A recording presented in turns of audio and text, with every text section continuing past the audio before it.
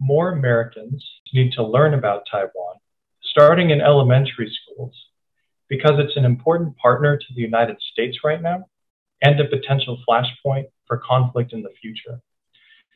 Right now, Taiwan is the United States' ninth largest trading partner, and Taiwan is also an important global partner for issues including democracy and values, for the COVID 19 pandemic and global health issues, and other economic issues.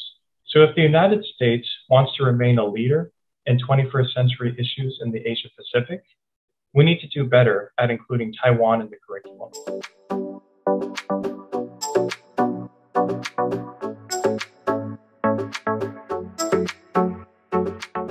Including Taiwan in the curriculum won't be easy. Uh, the United States currently has a teacher shortage. Uh, the Commission on Language Learning found that 44 states and the district have reported that they're unable to find enough qualified teachers to meet their respective language curriculum needs.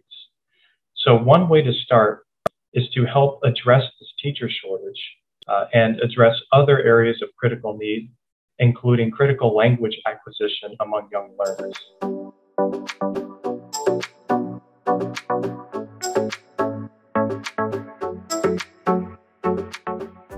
One way to stay engaged in the curriculum uh, development question and how can we get Taiwan and the world truly in the United States curriculum is through uh, advisory groups. Uh, and it's really very stark uh, figures when thinking about where Taiwan and other countries can fit into the curriculum. Uh, only four US states uh, have Taiwan listed in their public social studies curriculum. And that can be uh, and should be changed uh, through advisory groups, uh, such as bringing together educators, specialists, experts across different disciplines and grade levels with pedagogical and research experience, we can start to think of ways to creatively include and talk about Taiwan and other places in areas of multidisciplinary concern in the US curriculum.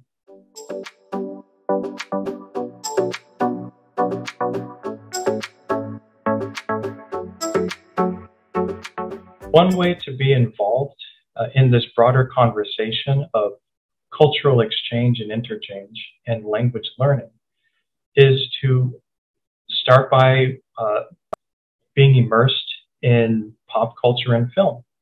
Uh, that's one way that I got started and continue to connect with not only the Taiwanese language and society, but truly uh, global affairs.